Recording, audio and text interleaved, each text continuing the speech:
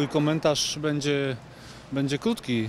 Chyba niektórym pomyliło się, po co tutaj przyjechaliśmy. Myślę, że co niektórzy e, spodziewali się, że przyjeżdżamy tutaj na jakiś e, festyn, e, a nie zagrać sparring z dobrą drużyną z Ekstraklasy, ale nawet jeśli ktoś myślał, że przyjeżdża na festyn, to jeśli się nie jest dobrze przygotowanym pod względem e, taktycznym, fizycznym, ale też mentalnym, to e, nawet na takim festynie, festynie można się e, delikatnie mówiąc trochę zbłaźnić i, i można nie tylko się zbłaźnić na, na boisku, ale i, i, i przy stole, więc obojętnie czy jedziemy na festyn, czy mm, na mecz ligowy czy sparingowy, to przede wszystkim musimy być odpowiednio do tego przygotowani i dobrze nastawieni. My dzisiaj absolutnie tego nie pokazaliśmy.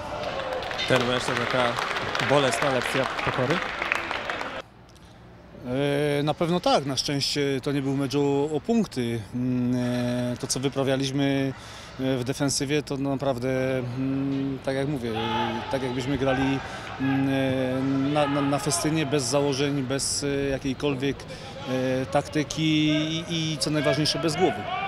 Nie ma ryzyka, że to 0,5 tak trochę wpłynie demotywująco, że te, ta dobrze do tej pory funkcjonująca maszyna może się zaciąć.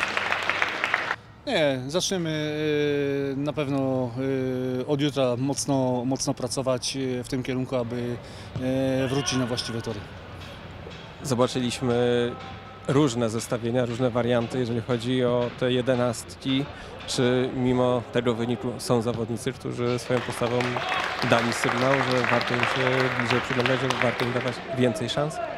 Myślę, że tak, ale tutaj e, naprawdę nie chciałbym po takim meczu e, kogokolwiek e, wskazywać, tak samo jak nie chciałbym indywidualnie od razu powiedzieć, e, kto w mojej ocenie gdzieś tam najgorzej wypadł.